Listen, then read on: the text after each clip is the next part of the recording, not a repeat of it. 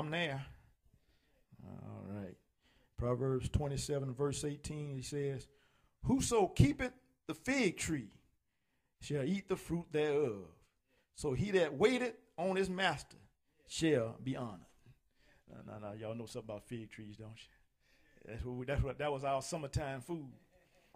Mom and dad and them told us you got to do one or two things: stay in the house or stay outside. But you're not going to do both. And so most of the time that meant when it got up that morning, once you were outside, you were outside. You wouldn't come back in.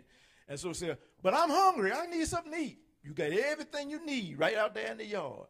Wasn't many yards that didn't have a fig tree. And so he said, those, the one who keeps the fig tree, who serves the fig tree, gets to eat from the fig tree. You notice? So those people would take care of that fig tree. Remember what they would tell you? Go pick them figs because I don't want them limbs to get too heavy. I don't want them to fall on the ground. Go get them figs. Because when you pick the figs that morning, later on that evening, there's going to be some more on that. And so because you picked the figs, what did you get to do with the figs? You got to eat the figs. And so God is saying this, you serve me, I'm going to serve you. You take care of me, I'm going to take care of you. He said, I'm going to honor, honor you. That's when he starts talking like he talked about Job when the devil comes around. Have you considered my servant Job? That, now this God talking proud. The devil's.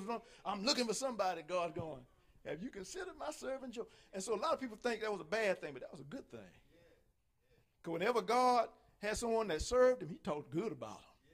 When somebody did him something wrong, uh, when Moses' sister Miriam got to talking about him and got angry with him, he said, You don't talk about my servant Moses. Mm, no, you don't do that. And what did he do? He struck her with leprosy. Same thing. And, and when she came and said, Lord, I'm sorry, he took it back from him. Same thing with Abraham. They started talking about Abraham. Don't you talk about my friend Abraham. When you serve God, God stand up for you. It's just like a proud parent. Oh no, mm, you're not talking about them. Like, you know, I used to say, that's my boy there. Mm-mm, no, same thing. God honors you. And so that's that's why the devil gets mad because God is proud of his children, and he's not ashamed to boast about them. He's proud of them. But when you think about this, the great reward, and this is the one we hear all the time, the ultimate reward uh, when you wait on the Lord, and the Lord waits on you. And y'all heard it, and that's, that's Isaiah wrote this.